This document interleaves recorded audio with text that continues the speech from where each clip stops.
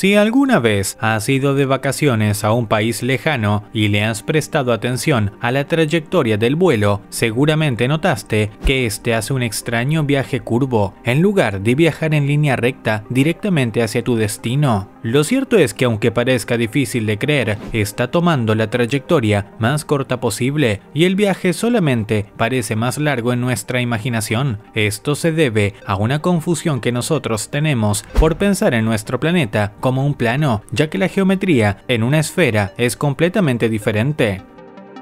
Una de las primeras cosas que nos cuentan en el colegio, en las primeras clases de geometría, es que la distancia más corta entre dos puntos en un plano la marca siempre una línea recta. Y esto es algo cierto, siempre y cuando estemos hablando sobre planos. Pero cuando se trata de figuras esféricas, se habla de una geometría completamente diferente, donde esta regla no se cumple. De hecho, sobre una esfera tampoco se cumple otra regla básica de la geometría, esa que nos dice que todos los ángulos interiores de un triángulo forman 180 grados, ya que si dibujásemos uno en una esfera, la suma daría un número mayor. Además, otra cosa que nos acostumbramos en el colegio es a ver mapamundis en los que la superficie de la Tierra se presenta como un plano, con las distorsiones que esto conlleva.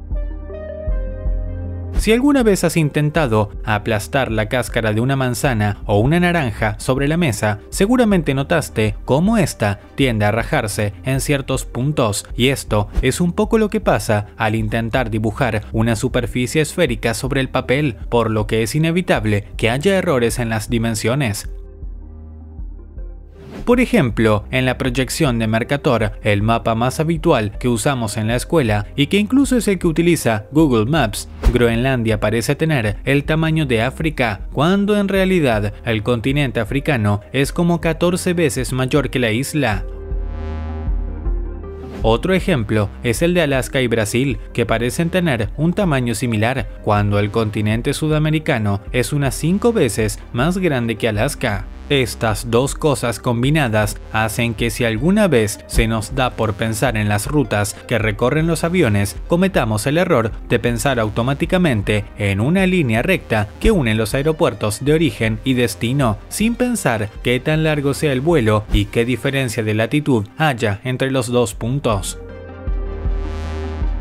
Si hablamos, por ejemplo, de un viaje entre Madrid y Nueva York, la distancia más corta entre ambos no es la línea negra que se ve en la imagen, sino la roja. Esto es debido a que sobre una superficie esférica, la línea más corta entre dos puntos es el arco del llamado círculo máximo, que los une y que representado en un mapa plano se corresponde con la línea roja.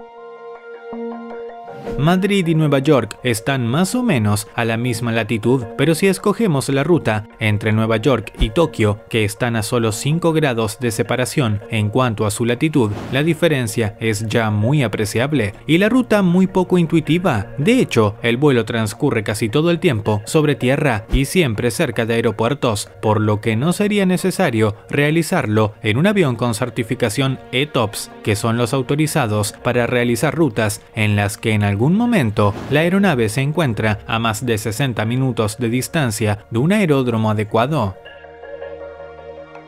Por último, el ejemplo más extremo es el de un vuelo entre Pekín y Buenos Aires, con cerca de 75 grados de separación en cuanto a sus latitudes. Sin embargo, no existe ningún avión capaz de realizar el vuelo sin escalas. Luego de todo esto, posiblemente creas que los aviones siguen siempre la ruta marcada por estos mapas, pero la realidad es que no, ya que hay ciertas restricciones a la hora de trazar recorridos y no siempre se puede tomar el más corto. Por un lado, hay zonas en las que no se puede volar porque están prohibidas al tráfico aéreo civil y por otros, la meteorología o un molesto volcán pueden hacer que no se pueda seguir la ruta en cuestión. Otro motivo para los desvíos en el caso de los vuelos que atraviesan Estados Unidos o Canadá es la presencia de una corriente de chorro que hace que sea mejor desviar la ruta que andar luchando contra el empuje del viento.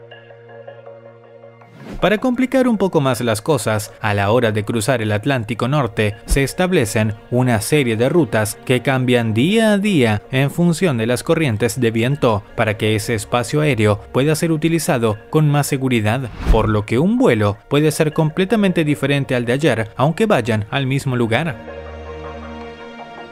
Finalmente, dentro de Europa, donde hay zonas en las que el tráfico aéreo es especialmente denso, se definen una serie de aerovías que los vuelos tienen que seguir y que raramente coinciden con el círculo máximo, aunque afortunadamente la diferencia no es tan grande. Por esto, una de las principales razones por las que muchas aeronaves no vuelan sobre el Océano Pacífico es porque el círculo mayor en los recorridos casi nunca pasa por encima de él, sumado a la norma de siempre tener un aeropuerto a menos de 60 minutos en caso de emergencias.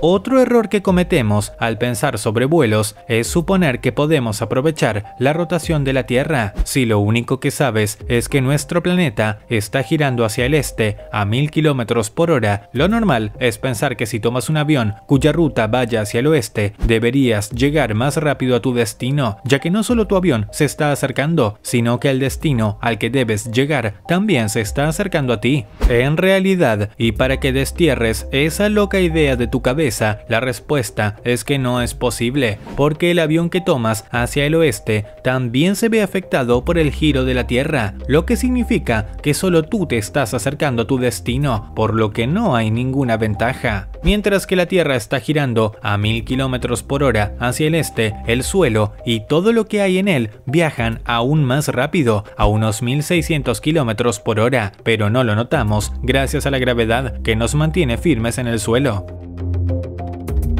Si la Tierra en algún momento se detuviese de golpe, todos nosotros saldríamos volando por culpa del efecto de inercia, como si tuviésemos un accidente de coche viajando a esa velocidad. Un poco terrorífico, ¿no crees? Pero no te preocupes, es físicamente imposible que nuestro planeta deje de girar sin motivo, por lo que eso nunca pasará. Los vuelos de ultra largo alcance, que puedan llegar a las 20 horas sin escalas, tienen que luchar contra la naturaleza. Uno de los problemas más comunes es el jet lag de sus pasajeros y tripulantes al atravesar tantos usos horarios.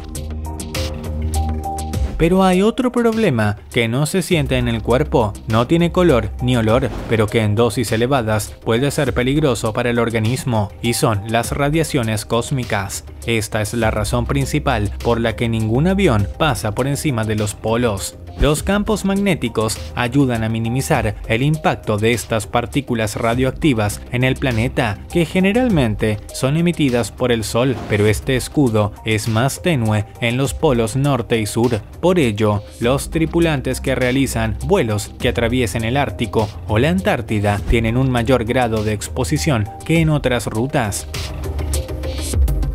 Generalmente la radiación no es suficiente para hacerle daño a las personas a bordo del avión, pero si el vuelo se realiza durante una tormenta solar, puede ser un problema. Distintos organismos mundiales informan a las aerolíneas cuando la actividad solar incrementa y de esta manera las aerolíneas pueden advertir a sus pilotos si la radiación es muy potente. Cuando esto sucede, se intenta disminuir la altitud o buscar rutas alternativas para evitar los riesgos de la exposición En los últimos años se han diseñado aeronaves que disponen de detectores de radiación a bordo, pero hay muy pocas de estas ya que implican un gran gasto económico. La Unión Europea estableció en el año 2000 que las aerolíneas tienen que calcular la exposición anual a la radiación, ya que las trabajadoras embarazadas deben limitar sus horas de vuelo drásticamente, ya que un feto no puede recibir tanta radiación como un cuerpo adulto. Como has podido ver a lo largo de este video, planificar y realizar trayectorias de vuelo no es nada fácil, ya que se deben tener en cuenta decenas de factores para que no haya ningún inconveniente. Si el video te gustó, házmelo saber en la caja de comentarios.